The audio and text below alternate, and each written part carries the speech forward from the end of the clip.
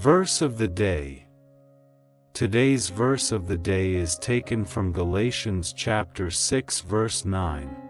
Let us not become weary in doing good, for at the proper time we will reap a harvest if we do not give up.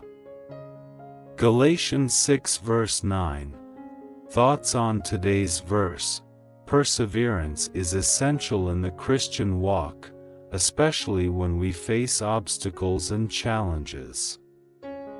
Let's not grow weary in doing good, for God promises to reward our faithfulness in due time. Let's press on with determination, knowing that our labor in the Lord is never in vain.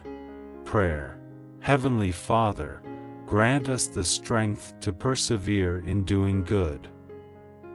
Help us to remain steadfast in our faith and trust in your promises, knowing that you are faithful to fulfill them.